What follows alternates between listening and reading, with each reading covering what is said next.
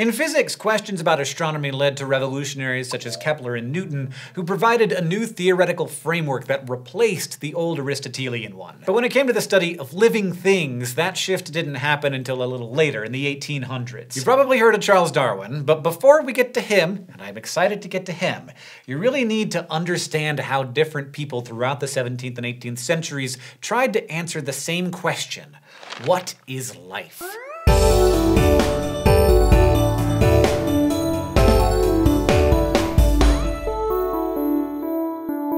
During the scientific revolution and the Enlightenment, there was no biology. That term was first used in 1799. Instead, there was natural history, the observation-based study of living things based on the work of Aristotle. For Aristotle, living things were all of one kind but animated by different types of soul. So plants have a vegetative soul and can grow, animals have a sensitive soul and can move, and humans alone have a rational soul capable of reason. Organisms could be compared by imagining their position on a great chain, leading upward in complexity and worth from grass to starfish to humans. This great chain of being gave people throughout Europe and parts of Asia and Africa a way to understand differences in form between things, but it didn't include an element of time. Did living things change over time? That is, did they evolve? What sorts of evidence would prove this? And would that proof contradict the Bible? Would God let extinctions happen? Let's set the stage for these questions, which would rock the world of natural history. Alongside the first microscopists, other brilliant people were creating knowledge about living things in the 1600s. Two notable natural historians jump out, a great experimentalist and a great observer. In 1634, the Spanish Inquisition arrested Flemish alchemist Johann Baptista van Helmont for the crime of studying plants. He was put under house arrest, but this experience did not deter him. Like Galileo, it made him want to science even harder. Van Helmont really wanted to understand how plants grow, so he devised his famous willow tree experiment to provide some answers. Van Helmont wanted to test the theory that plants grow by eating soil, so he weighed a willow tree, it was five pounds, as well as some soil, 200 pounds of it. He planted the willow in the soil in a pot, and then he tended to the plant's needs, observing its growth for five years. After that time, he weighed the tree again, then dried the soil and weighed it too. The mass of the soil had remained the same over the five years, but the tree's mass had significantly increased. Van Helmont concluded that the tree grew not by eating soil, but by drinking water. Published in 1648 after Van Helmont had died, this willow weighing experiment became the first quantitative experiment in biology. Another major 17th century natural historian was Maria Sibylla Merian. Born in Frankfurt in 1647, Merian was the leading entomologist or insect expert of her day, as well as a highly skilled scientific illustrator. Merian became well known for her work on how some insects metamorphose or change shape.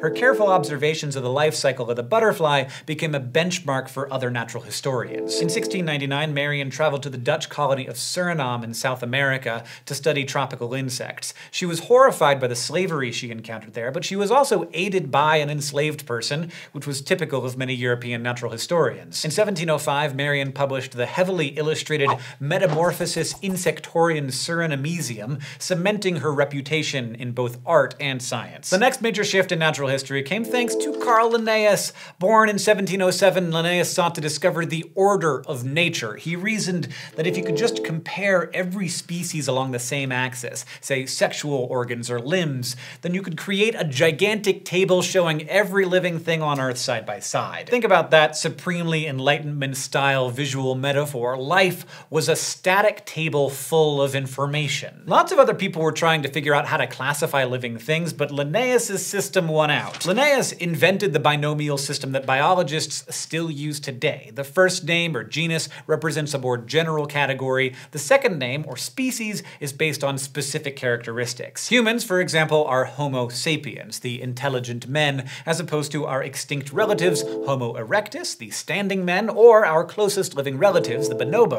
who some scientists classify as Homo sylvestris, the forest men. Linnaeus introduced the binomial system in Systema Naturae in 1735. We can compare this text to Galileo's Two Sciences or Newton's Principia in that it provided natural historians with a new paradigm for how to do their jobs. Beyond the binomial, Systema also addressed higher level classification. Say you encounter a thing. First, you decide on its kingdom, meaning whether it's an animal, vegetable, or mineral as per tradition. Then you assign it to a class, such as mammal or bird, and an order based on some characteristics, such as, say, eels or spiny finned fishes. FYI, Linnaeus was the first to assign bats to team mammal instead of team bird. Then you assign genus and species, and all of these decisions you make rationally based on some observable and comparable feature. Does the thing have wings or arms, spines or no spines? How many ventricles in its heart, internal or external gills? Although it's evolved a lot over three centuries, we still use Linnaeus' system. Linnaeus was called the second Adam because he named so many organisms, mostly plants.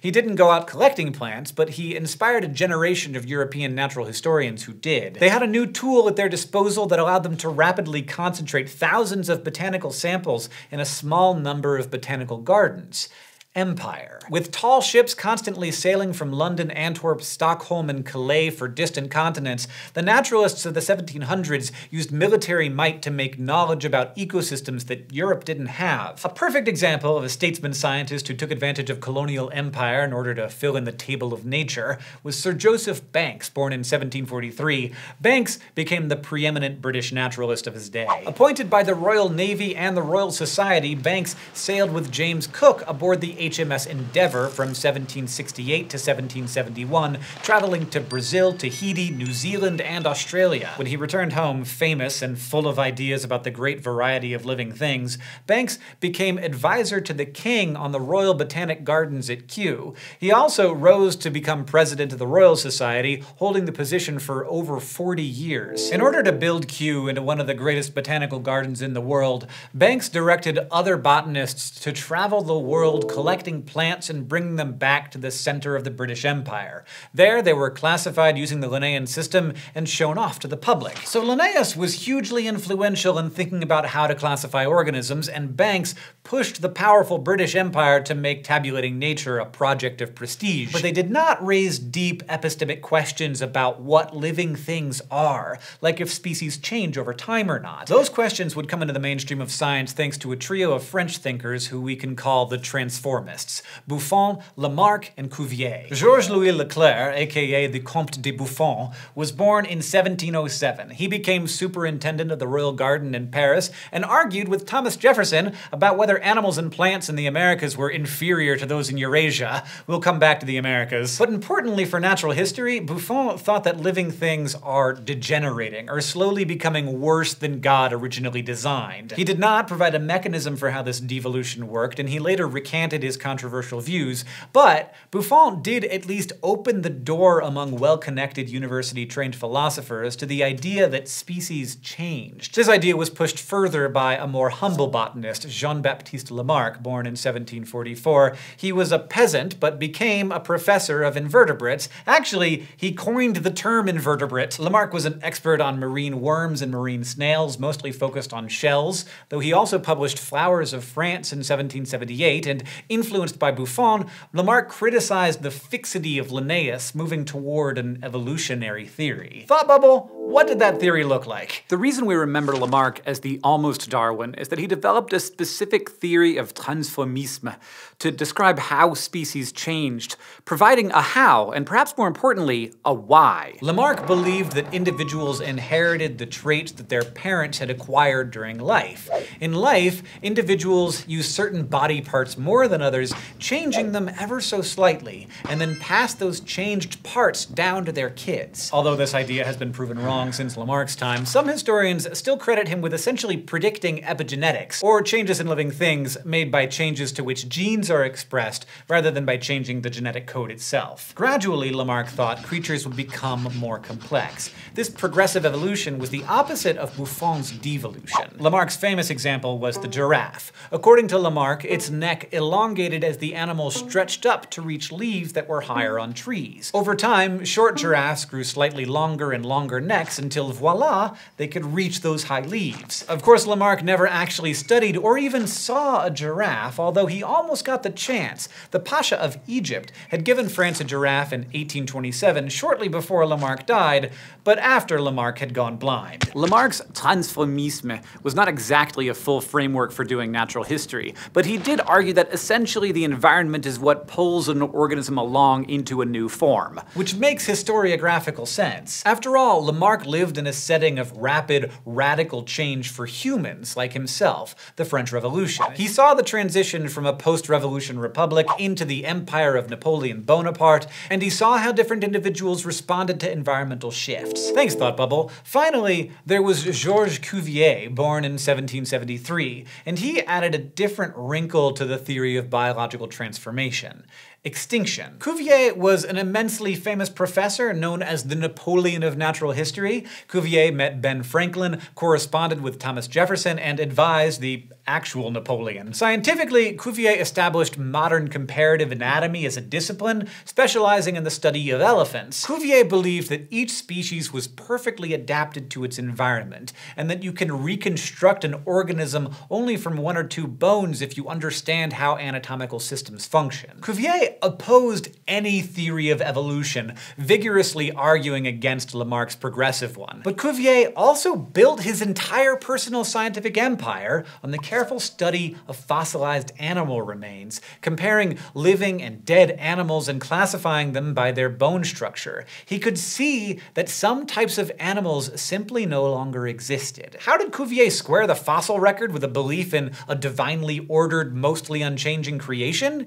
He argued for catastrophism, the idea that major changes in species come about due to catastrophic events, such as the flood of Noah. At the end of the 1700s, natural historians had a system for comparing and naming everything alive. They had state support, and they had some ideas about how life changed over time, but they did not have a new paradigm for researching this change. They did not have a biology. Next time, let's follow the fossil trail, hunt for mines, learn the true age of the Earth, and further clear the way for Darwin's biology. First, we need the birth of geology.